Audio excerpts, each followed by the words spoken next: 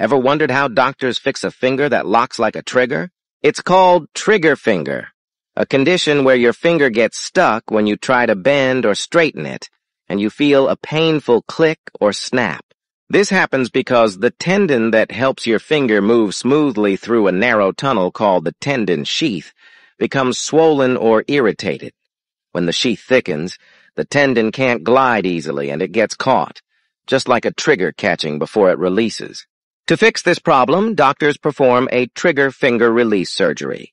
In this quick procedure, usually done under local anesthesia, the surgeon makes a small cut at the base of the affected finger and locates the tight part of the tendon sheath, known as the A1 pulley. With precision, they cut this pulley to release the trapped tendon, allowing it to move freely again. The incision is tiny. The surgery takes only about 15 to 20 minutes, and most patients can move their finger right after. Once healed, the painful locking disappears completely, and the finger moves smoothly again. No more clicking, no more pain, just free motion.